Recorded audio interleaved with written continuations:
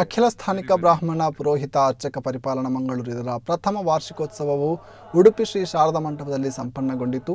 ಕಾರ್ಯಕ್ರಮದ ಅಂಗವಾಗಿ ಬೆಳಗ್ಗೆ ಶಾರದಾ ದೇವಸ್ಥಾನದಲ್ಲಿ ತ್ರಿನಾರಿಕೇಳ ಮಹಾಗಣಪತಿ ಹೋಮ ಮತ್ತು ಆಯುತ ಗಾಯತ್ರಿ ಹವನ ನೆರವೇರಿತು. ಸ್ಥಾನಿಕ ಬ್ರಾಹ್ಮಣ ಮಹಾಮಂಡಳದ ಅಧ್ಯಕ್ಷರಾಗಿರುವಂತಹ ಬೆಳ್ವಾಯಿ ದೇವಾನಂದ ಭಟ್ ಕಾರ್ಯಕ್ರಮದ ಅಧ್ಯಕ್ಷತೆಯನ್ನು ವಹಿಸಿದರು. ಕಾರ್ಯಕ್ರಮವನ್ನು ದೀಪ ಬೆಳಗಿಸಿ ಉದ್ಘಾಟಿಸಿದರು. ಪ್ರವಚನಕಾರರಾದಂತಹ ನಟರಾಜ್ ಪರ್ಕಳ ಇವರು ಗಾಯತ್ರಿ ಮಂತ್ರದ ಮಹತ್ವದ ಬಗ್ಗೆ ವಿಶೇಷ ಉಪನ್ಯಾಸವನ್ನು ನೀಡಿದರು.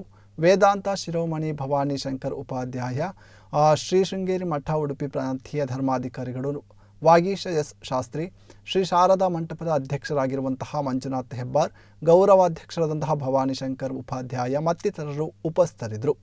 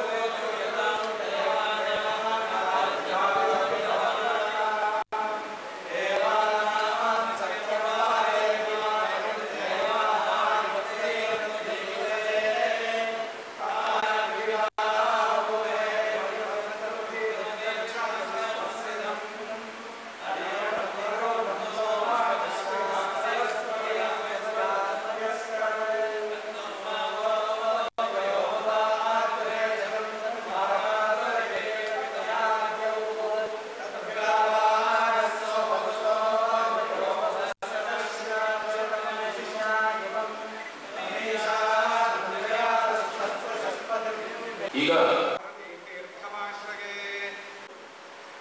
ಅದು ಅಧ್ಯಕ್ಷರು